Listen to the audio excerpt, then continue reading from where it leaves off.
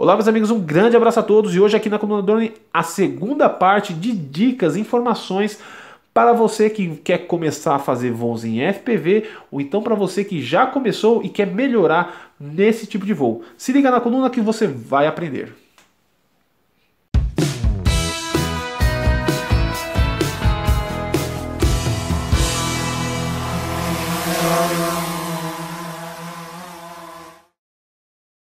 Muito bem. Aí você está lá voando, saiu para voar. Lembre de uma coisa que é interessante, tá? Procure na medida do possível, é difícil, eu mesmo não faço isso, mas procure na medida do possível deixar a cabeça alta. Porque quando você. Imagina que você colocou aqui a sua, sua antena PET, né? Tudo bem, né? Os mimizeiros de plantão às vezes falam, né? É, mas aí tem a outra antena, não sei o que, né? tem, por isso que tem duas antenas, tudo bem, tudo bem. Eu sei que tem duas antenas, né? Mas na medida do possível, se você deixar a sua, sua cabeça baixa assim, né? Quando a, quando a gente joga, por exemplo, eu não gosto de videogame, tá? Detesto videogame. Mas quando joga esse videogame usando aquela, aqueles óculos, geralmente a gente baixa a cabeça, mas tem um cabo conectado aqui no, no, no, no óculos lá, certo? Aqui eu preciso o quê? Eu preciso privilegiar a qualidade da captação, eu preciso ter mais eu preciso de mais, mais dados vindo do drone que está lá na casa do chapéu, tá bom? Então eu preciso de mais dados. Então é interessante que você levante a cabeça, deixe a cabeça alta, ao invés de você ficar mirando a antena PET, que ela é a mais importante nesse momento de, de captação a longa distância, ela é o que mais tem uma quali melhor qualidade, tá certo? Ah, então é interessante que você deixe ela, não deixe ela para baixo apontando, é, porque aqui essa região aqui, ó, ela para baixo que essa região aqui, ela não capta nada. Ela capta aqui, ó. Essa, essa região aqui, ó, tá? Então, deixa a cabecinha alta, beleza? Para poder privilegiar a qualidade do sinal. Outra coisa é quando acaba, a, ou então cai o sinal, tá? Ou porque a bateria acabou do, do óxido, ou então porque simplesmente aconteceu alguma coisa, soltou a bateria, a, é, você entrou numa região, uma zona com muita perturbação eletromagnética. Eletromagnética, eu estou dizendo assim, tem aqui em Itaquera, por exemplo, tem muito poste com que ele transmite via Wi-Fi os dados de câmeras de segurança né, da, da prefeitura, do, do, governo, e manda é, para uma central. E isso aí interfere, acaba interferindo um pouquinho aí nas, nas imagens. Tá? Perdeu a, a, a, imagem, então a imagem tá, tá chuviscando, não deixa acontecer a, a, merda acontecer, tá? Tá chuviscando demais, tá dando, inclusive tá entrando na tela azul, tem alguns casos aqui, igual nesse aqui, por exemplo, ele entra até a tela azul, né? Ou então fica tudo escuro. Cara, não, não, não espera, já vai puxando, já pousa e vai reduzindo a potência assim como se estivesse uh, pousando, porque a pancada vai vir, né? Mas eu pelo menos eu vou minimizar os danos em cima do meu drone. Então, eu tô perdendo sinal, eu já vou, já checa aonde você está indo, já dá aquela olhada, é, a direção que o drone, o que tá sendo, você está conseguindo ver no, no, na tua tela, porque às vezes é isso aí que vai te ajudar você achar o seu drone, tá? Tem esse detalhe também, tá bom? Outro detalhe também que eu, que eu me lembrei agora, quando você for fazer o seu FPV, evita de nos primeiros, claro, evita de ir muito longe, porque pessoal, esses bichinhos aqui chega, né, dependendo da qualidade do seu VTX, da potência do seu VTX e da qualidade da sua antena, né, do DBI da sua antena, chega aí facilmente aí 500, 600, 1 km ou mais, sei lá, depende do drone e tal. Mas cara, 400, 300 metros é chão, é chão para você poder achar, você ir procurar o teu drone. Imagina você perder um drone você não lembra onde pousou, onde caiu, e você ter que procurar numa área de 300 metros quadrados, 300 metros, um raio de 300 metros, de 400 metros, de 500 metros, de um quilômetro, né? Então, recomendo fortemente, né? Fique num lugarzinho mais fechadinho e tudo mais, tá? Outra coisa, isso aqui é fundamental, tá, pessoal? Lembre-se de uma coisa. Para o FPV ocorrer, ele precisa de uma digamos assim, uma triangulação, vamos dizer assim, tá? Uh, os três aqui tem que estar conectados, sempre estar conectados, tá? Então o rádio tem que estar conectado. Conectado eu estou me referindo a quê? A, o sinal que sai aqui do rádio, ele tem que estar em, estar em contato com o drone. o drone tem que estar em contato com o rádio e o rádio e o drone também tem que estar em contato com o, o, o aqui o seu, o seu óculos, tá certo? Então o seu drone tem que estar, tem que estar sempre com é, é, essa ligação com esses dois itens aqui, tá certo? E eu estou me referindo ao que? Sempre que você for voar, imagine que você tem uma linha ou um cabo, uma linha reta, né, um cabo em linha reta, interligando os dois, tá? Porque a partir do momento que você perder essa linha ou você obstruir por qualquer tipo de coisa, por alguma coisa, você pode simplesmente uh, perder as, uh, você pode perder o seu drone, você pode perder o sinal, né? Ou sinal de rádio ou sinal de vídeo, tá certo? Eu estou querendo me referir ao que? Quando você for voar, repara é, que, ou melhor, fique atento, né? Evite sobrevoar, passar por trás de árvores dens, densas, né, com uma copa muito densa. Ou então, por exemplo, você vê lá uma caixa d'água. Ah, vou passar atrás da caixa d'água. Não faça isso, senão você vai perder seu drone, tá bom? Então, ao invés de você vir por trás da caixa d'água, eu sei que é tentador, né? Mas não, procure, vai por cima dela, tá? Lembre-se sempre disso. Eles têm que ter uma linha, uma ligação, uma linha reta, como se tivesse um fio, um cabo, ligando um ao outro. Se tiver alguma coisa no meio, você vai cair, você vai vir pro chão, tá? Vai dar crash. Beleza? Falando em crash, também tem uma outra coisa importante para vocês, tá? Eu sei que quando a gente está voando, a gente vê, por exemplo, é, aqui, aqui em São Paulo, tem aqui o estádio aqui do, o estádio do, do, do Corinthians aí, né? Que o pessoal chama do Corinthians. Mas é, e, a, e, a, gente às vezes eu, eu, fico voando ali, eu vejo os meninos voando e eu fico pensando, caramba, por que, que esses caras não vão? Eu, eu pensava, né? Por que, que esses caras não vão lá no estádio. Ixi, eu entraria lá com o meu racer lá, eu entraria lá com o estádio fechado, tá? Sem ninguém dentro, tá? Não voe, não voe, so, não sobrevoe pessoas, tá? Aglomeração de pessoas, igual estádio. Se fizer isso, vai dar ruim para vocês, tá bom? Não sobrevoe. Agora, por exemplo, é, sei lá, um estádio tá, tá vazio, né? Não tem jogo, não tem absolutamente nada nele às vezes dá essa vontade de você sobrevoar, não sei o que, isso aí não tem problema. O problema é se você tentar voar com o seu drone FPV sobrevoando aglomeração de pessoas, isso aí dá estreito. Mas aí então o, estádio vazio, eu pensar, por que, que os caras estão. Já que a gente está aqui no, no, na, no, estacionamento do estádio, por que, que os caras não saem aqui? E, eu pensava isso, ah, eu, vou, eu, passaria aqui, entraria lá dentro, ia ver o que está acontecendo lá dentro, não sei o que. E tem uma. Isso, e eu pensava isso até o dia que eu fui fazer isso sobrevoar uma, uma área privada, não é? que era uma espécie de um bosquezinho, né? numa casa de uma pessoa lá no interior. E eu perdi o sinal e o drone caiu lá dentro. E cheio de cachorro. E eu precisando voltar no mesmo dia, daqui a algumas, algumas horas depois. Né? Então, o...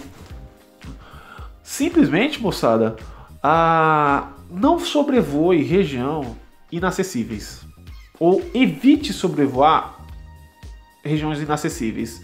Se você fizer isso, tenha em mente que o risco é seu. Você está arriscando né, de você de repente você acontecer, cai o sinal, acaba a bateria, dá um, um, um, fly, um, fly, um fail safe, tá?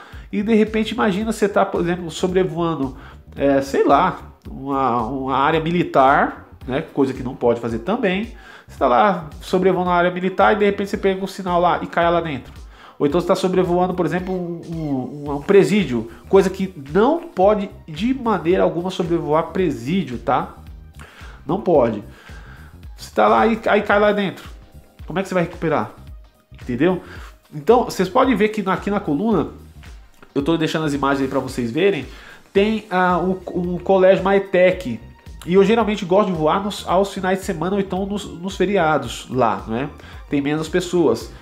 E aí, uh, eu não fico sobrevoando a ETEC, porque se eu de repente der algum desses casos ou outros, qualquer, quaisquer outros, eu vai cair lá dentro, vou, como é que eu vou. É, é, fica ruim de eu pedir pro o, o, o, o segurança que está na portaria ir lá pegar meu drone, tá certo? Então não sobrevoe, evite sobrevoar. É, regiões que são fechadas ou então de difícil acesso. A mesma coisa vale quando você vai so você evitar de sobrevoar, por exemplo, árvores. Né? Toma cuidado quando você vai sobrevoar árvores, porque você pode é, aqui no, no é, é, aqui em Jundiaí, né? Eu gosto muito de Jundiaí.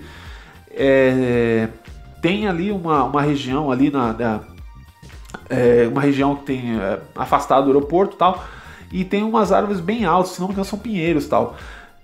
É, são 40, 50, vai, eu estimo que seja uns 40 metros de altura uma árvore daquelas. Imagina se prende meu drone lá no topo desse pinheiro.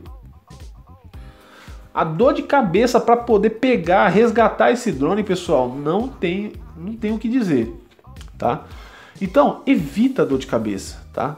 Vai fazer um voo, é, quer passar numa árvore, verifica aí se a, a é igual um pinheiro, é, é, é bem, é, não tem muita, é, muita folha tal. Sobrevoa, passa por trás dela tal, mas não evita de sobrevoar regiões densamente, é, tem muita árvore, né? Que tá, tá é, muita árvore e tal, esses lugares assim. Ou então outra coisa também, sobrevoar lagos. Evita, na medida do possível, tá? Você que está começando, lógico, tudo isso que eu tô falando é para quem está começando, tá? Evita de sobrevoar la lagoas, lagos, rios, tá? Para você não acontecer o que aconteceu comigo, que eu perdi o meu Aurora 90 que caiu no rio aqui perto de casa, tá? 500 reais foi pro saco, né? E um dronezinho bem legal. Infelizmente, né? Perdi o Aurora, né? Beleza? Então, pessoal, mais uma dica para você. Você tá lá voando, você quis começar em stab, né? Modo estabilizado. Mais uma vez, pessoal, eu digo, você quer começar assim, não tem problema Pode começar assim. E aí, com o tempo, você vai adquirindo experiência e você venha pro. Você começa a voar aí em acro, então em air mode, tá bom? Mas ó, é o seguinte, moçada. É, quando você for fazer o seu é, essa transição, né? Você tá lá, você voou lá, você fez seu primeiro, segundo, terceiro voo estabilizado. E aí você falou, não, agora eu vou voar em modo acro. Eu quero ver como é que funciona isso aí, eu quero tentar. Você vai fazer esse, esse, tipo de voo? Faz o seguinte, antes de você mudar a chave lá do seu rádio para o modo acro, vai lá no, no, vai numa região bem alta, sobe bastante, tá? Vai numa, região mais afastadinha, tal, mais segura.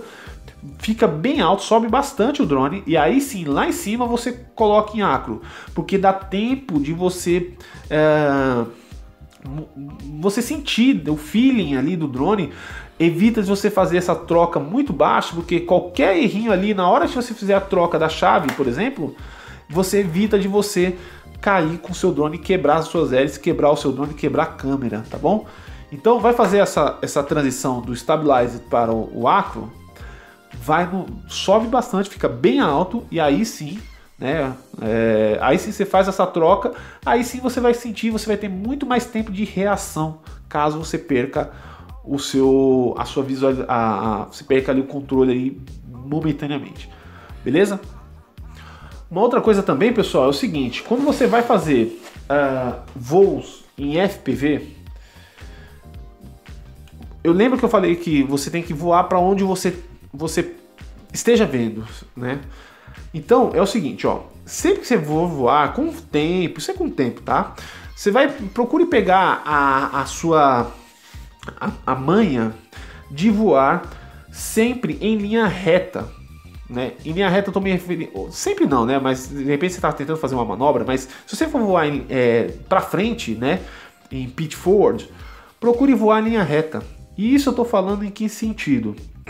Porque é o seguinte, o drone, ele, por ser quadricóptero, ele pode voar, por exemplo, nesse rumo aqui, né? Nesse rumo aqui dessa linha aqui, ele pode voar assim, ele pode voar assim, né?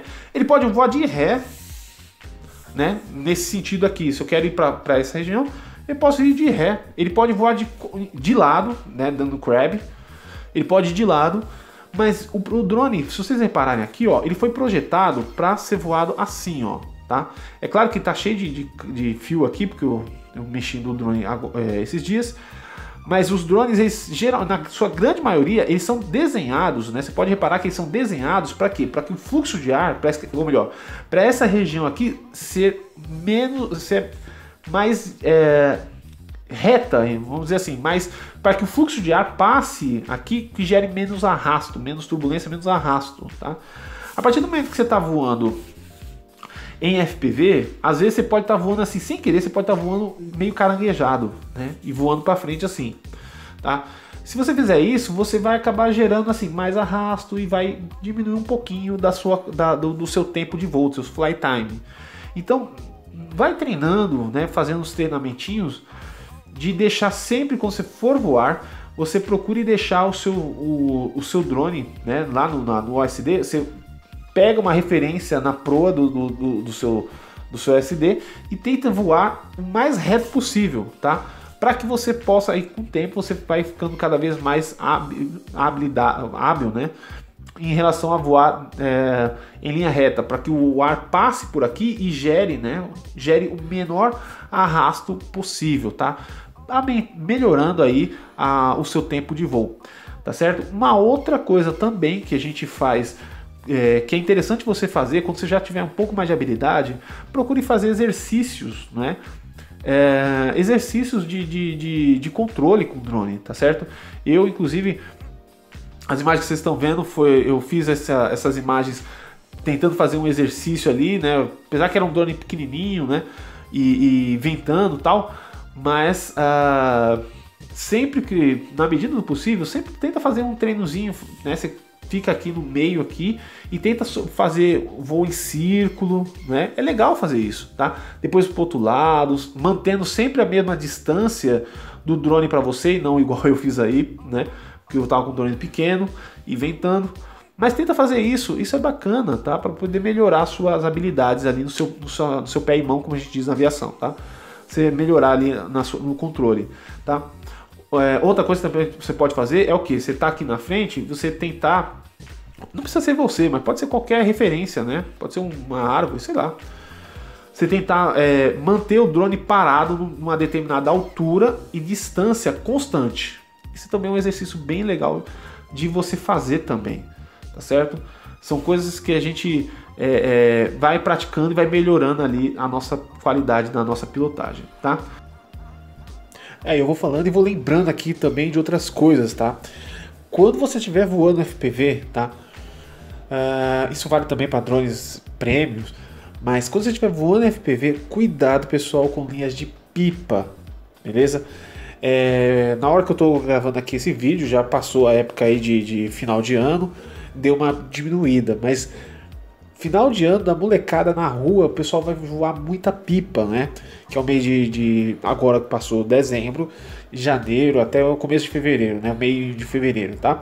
Então toma cuidado com pipa, porque afinal de contas, às vezes você vê lá, tá muito longe ela, mas você não consegue enxergar a, a linha, não é? E essa linha muitas das vezes ela faz uma, a gente acha que ela tá em linha, tá, tá assim retinha, né? Mas não, ela tá embarrigada.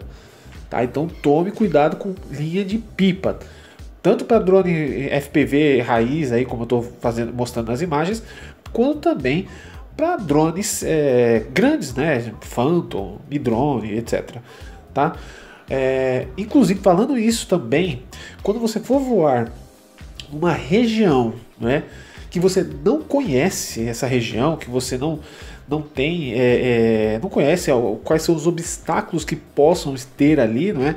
Você não fez uma análise correta de, de, de ou não deu tempo de fazer uma análise de, do campo onde você está voando. Tome cuidado com fios de alta tensão, então fios de poste mesmo, fios de poste. Uma excelente dica, pessoal, quando a gente está num perrengue assim, você, é, você viu um fio assim e, e, e aí você ficou meio assustado tal e para evitar de você bater no fio e derrubar o seu drone, acabar a brincadeira, tem uma dica interessante que é que sempre sobrevoe quando você está ali, é, principalmente quando a gente está com uma imagem meio chuviscando, né, tá, tá meio ruimzinha, procure sobrevoar, passar por cima do, dos postes, tá? Então você tem um poste de iluminação, por exemplo, né? Ou então um poste mesmo, esse poste de, de de que o pessoal coloca aí na, na em praças, né? Geralmente às vezes aparece um fio de alta, um fio que, né, que liga esse poste e a gente acaba não vendo, né, nessas praças, né? Então quando for assim, passe, procure para evitar de você de repente passar entre um poste e outro e você bater no fio, é melhor que você passe por cima do poste, porque ali você vai ter certeza absoluta que você não vai colidir com o fio, que às vezes o fio pode estar embarrigadinho e tal, beleza? É uma, é uma coisa bacana aí de a gente lembrar quando a gente está voando em FPV, principalmente nos momentos que a gente está com baixa qualidade de, de imagens ou até mesmo no, quando você está voando à noite, por exemplo. Tá? Eu gosto muito de voar à noite e eu acabei tendo que aprender isso aí na marra, caindo. Tá bom? E antes de, de finalizar, eu preciso lembrar também você, tá? Você, quando você for voar numa região ou então com, com amigos tal, né? Voltando lá atrás, né? Que eu falei sobre, que eu acabei lembrando agora, eu tava fazendo, falando sobre isso, acabei lembrando agora. Uh, quando você for voar né? Combine, ou então verifique, né, através do botão de scan, né, aquele botãozinho aqui, ó, nesse caso aqui é o botão de scan aqui, que ele vai procurando todas as, as frequências disponíveis, aí ele para naquela que estiver com maior qualidade. Dá uma verificada, pessoal, para ver se ninguém está usando aquela mesma frequência que você está usando. Se tiver, troque a frequência do seu drone, tá? Não sei se eu falei lá atrás, mas fica aqui essa dica aqui, eu lembrei aqui, isso aqui é importante, tá? Aqui em Itaquera os meninos ficam voando com drone, ou então FPV nas asas, e um dia eu estava voando e comecei a ver as imagens do, de uma asa, uma asa fixa lá, uma asinha, uh, uma asinha FPV, tá certo? Então antes de você fazer isso, tá? Antes de você voar, dá aquela, dá aquela escaneada, verifica se tem alguém ali usando aquela mesma frequência, não está usando, aí você usa ela, tá certo? Se alguém estiver usando, combina com seus colegas, seus amigos, ou então, se você não conhece as pessoas, coloca uma frequência específica, tá bom? E aí vai testando. Certinho? Então, pessoal, bom moçada, então é isso. Espero que façam votos que essas informações aqui, essas dicas, venham melhorar a qualidade do seu voo, venham ajudar você a fazer voos em FPV com maior qualidade para você se divertir bastante, tá? Lembrando só uma coisa, pessoal, eu não quero monopolizar a verdade e nem a razão, tá bom? Se você, por acaso, você tem alguma outra dica bacana para compartilhar, aqui nos comentários, tá? Maneira é, cordial, tá, pessoal? Afinal de contas, o respeito é bacana, tá? Pessoal que, as pessoas que acabam é, menosprezando o conhecimento alheio, eu excluo sem dó, tá bom? Acho que a gente pode ser cordial, pode ser cavalheiros, né? E ajudar os colegas. Afinal de contas, pessoal, a gente precisa agregar e não separar. Se você tem intenção de separar, então esse aqui não é o seu lugar, tá? Então você pode fechar o vídeo e ir para outro canal. Mas se você está com intenção de melhorar aqui, né? Atrair mais pessoas, né? Com o seu conhecimento, fique à vontade. Os comentários aqui embaixo estão ao seu dispor. Curte drones, gosta do assunto? Se inscreva aqui na coluna Drone. Gostou do vídeo? Pessoal, por favor, dá um joinha. Se alguma informaçãozinha ajudou, você dá um joinha aqui embaixo, por favor. Ajuda o canal e também cresça.